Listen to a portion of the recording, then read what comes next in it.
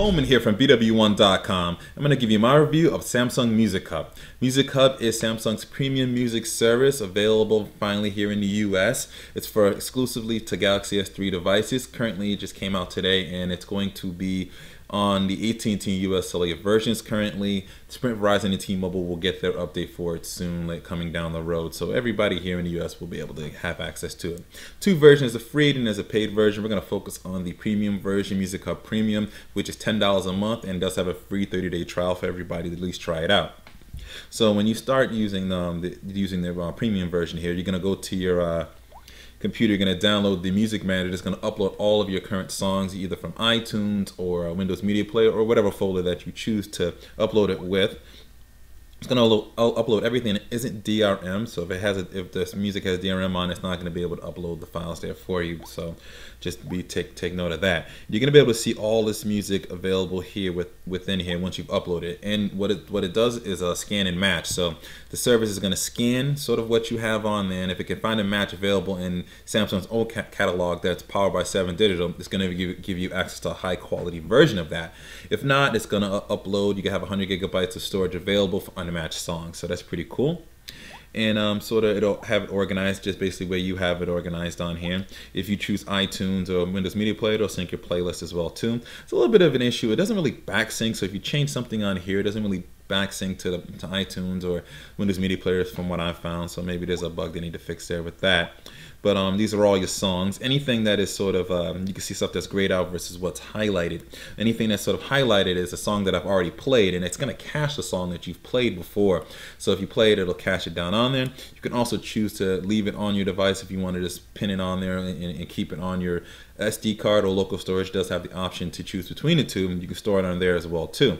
Now this works over Wi-Fi and 4G LTE. We currently have it on Wi-Fi right now just to make it a little bit faster with it. But um, they both work pretty fast on there, and it's conscious of which one you, you want to download. So if you you're on a metered data plan, you can only you don't maybe only want to download via Wi-Fi, stream only Wi-Fi, and any, anywhere else you can only use local.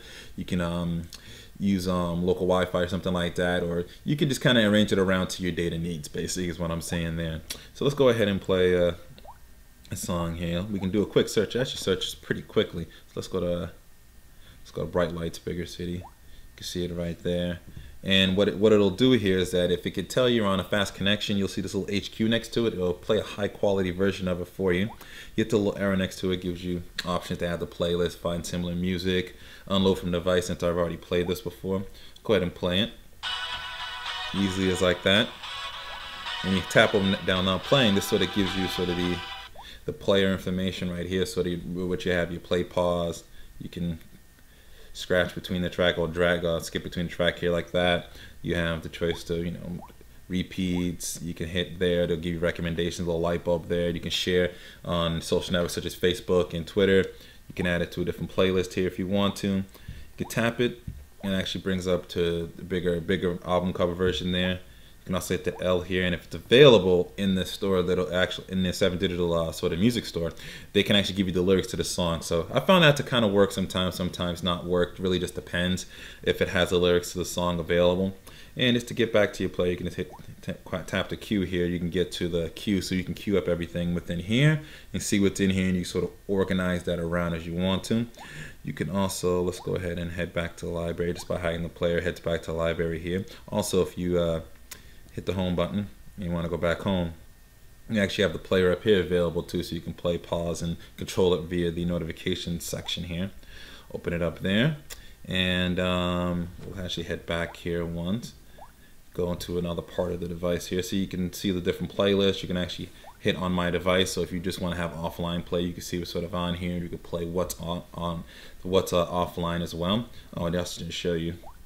This also is on landscape mode as well too. So you can see there, Almar's not as big. You can make a little bit bigger there, but you have the same controls here as you did before. Go ahead and head back here. We'll go into the actual uh, other feature that you have here, premium service, which is the catalog feature. Now, free, you can only listen to 30 second clips, but with the paid version, you basically, very similar to Zune Pass. If you guys remember, uh, or have a Zune Pass, or used Zune Pass before, you basically get unlimited streaming through all the music here. And it has it organized by top hits and stuff like that, and you can search through. So dance music if you want to listen to David Guetta and stuff like that. You go through here. It even has albums. And if you want to download those albums or artists, you can just add them onto your own catalog. So let's say we want to add this uh, song here. We'll let it play as it's queuing it up. You can see it's playing right there. And what we can do here is we can actually add this song. Oop, let me go back one. That's sort of how you rotate through songs there, as you could see.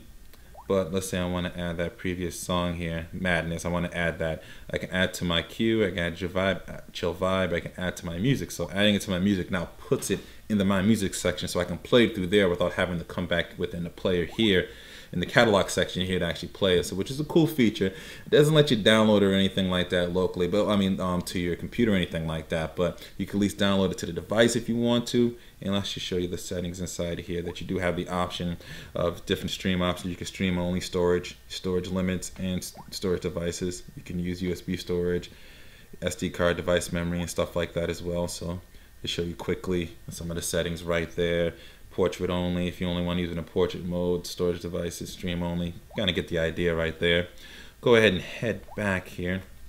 Out of there, we'll go back to my music. And that actual song, I think it was called Madness. Well, I can't remember the name of the song, but I knew I, I knew I have this song here, Ike's Mood, which is something I actually don't have on my um, don't have in my library, but it is available through the catalog that I've added here on from the catalog on the here, so now I'm able to search it within the um, within the My Music section. So it makes it a little bit easier there. Pretty cool. Next thing you have here is the radio. Simple radio. You can customize it as you want to. It'll play songs as you go along. You can't really skip through the songs um, as well. You just want to play. So you got it's gonna kind of play whatever is currently on that particular radio station set the way set the way it is, and you can kind of get recommendations and stuff like that. You can't really skip anything like that, but it works like a radio. We've seen those before. We'll go ahead and stop that right there. So head on back here. You do have a recommendation engine as well too. So based on what you're listening to, it's going to kind of figure out what it wants to to kind of give you an idea, suggest different music. You know, you may want to uh, download, buy, or you may want to add to your uh, my music and you can still buy music through here. And anything you buy then becomes definitely does become a part of your my music. But the only thing is i can't seem to find is a way to re-download if you want to download it onto your computer or something like that. You really didn't have an option for that so i'm pretty sure that's going to come soon. And you can see it's going to look through artists it's going to be able to recommend radio stations based upon your listening as well too. Not a big radio person so that's probably why there's not much there. But you do have recent sections so all the recent music that you've played will queue right up within here.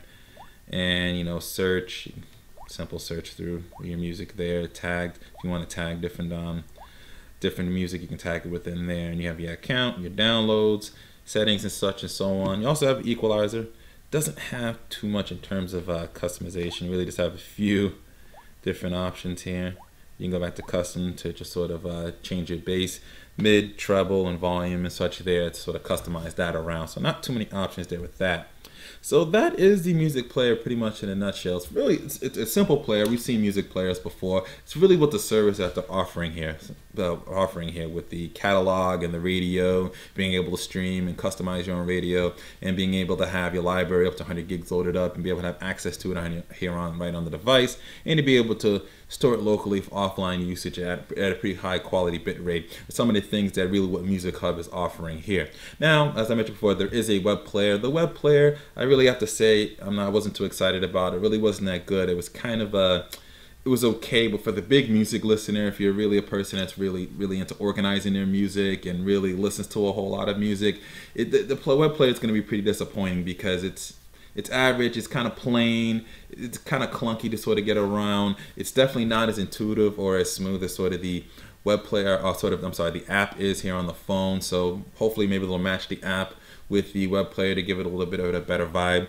I also had issues with syncing. There isn't there is a uh, option when you plug your Galaxy S3 in that the device will actually hard sync all of your uh, files directly to the storage card so you can have a local file storage if you just want everything just to load up on there. But that didn't seem to really work as well. And also with playlists, like I said, playlists seem to sync a little bit slow. So if you do something within Windows Media Player or iTunes to edit, it takes a little bit of time before it shows up on there. And also it doesn't really sync back changes if you make it in the web player, it doesn't sync it back over to it. But other than that, it's definitely a service worth trying at um at, with a free 30 day trial and at 10 bucks a month and having access to all that music and being able to have your music in the cloud. It's definitely worth looking at exclusive to Galaxy S3 devices, but I imagine that many other Samsung devices are going to be having this feature available. So you know you can sync stream between your tablet, maybe an MP3 player, maybe even in your your TV and such like that. You'll be able to sort of stream all your content along just through using the Music Hub application. So this is Bowman here from BWOne.com. If you liked our review, definitely give it a thumbs up. If you have any questions, post them right here below on our YouTube channel, on, on this particular YouTube video right here as well on our YouTube channel and on our main website at bwone.com. Be sure to follow us on, on all of our social media from Facebook, Twitter, Google+, Pinterest. The link to all of that is in the description. And of course, subscribe to our YouTube page. And always remember to live your tech world in high definition.